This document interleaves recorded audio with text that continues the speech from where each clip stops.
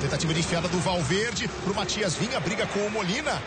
Molina chega na frente, Vinha volta ali na marcação, Molina prevalece, tudo isso está valendo. O Vinha tomou do Molina, fugiu da falta, vai invadir a grande área, atravessou para a segunda trave, olha o gol!